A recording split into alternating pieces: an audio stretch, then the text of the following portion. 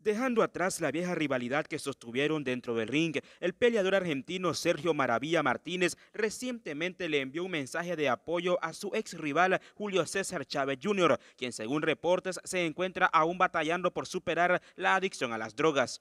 El deporte salva vidas, el boxeo como deporte noble que es salvavidas. Chávez Jr. se tiene que aferrar al deporte. Está en un terreno que desconozco al 100%, pero sí sé que es un trabajo difícil porque está luchando contra algo que no es adicción a la comida, sino adicción a las drogas. Pero hay mucha gente que se ha recuperado y si otros lo consiguieron, Chávez Jr. también puede hacerlo, afirmó Martínez. Lo único que puedo decir es que el deporte salva vidas. Aferrate al deporte, Julio. Hacelo porque es el boxeo el que te puede salvar, te puede salvar la vida a vos y a todo tu entorno. Así que aprovechalo, aprovechá porque queda poco tiempo, dijo Martínez durante una entrevista para izquierdazo.com.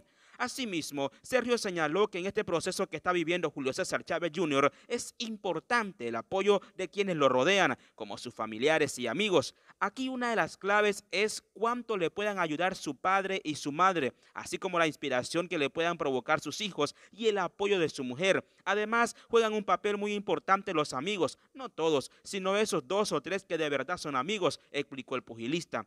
Por algunos meses, Julio César Chávez Jr. había estado lejos de la palestra pública, sin embargo, ha empezado a aparecer poco a poco en las redes sociales. Fue su propio padre, el legendario pugilista del mismo nombre, quien informó en su momento que el Junior estaba en un proceso de recuperación de su adicción a las drogas. Por ahora, todo parece marchar bien para Julio César Chávez Jr.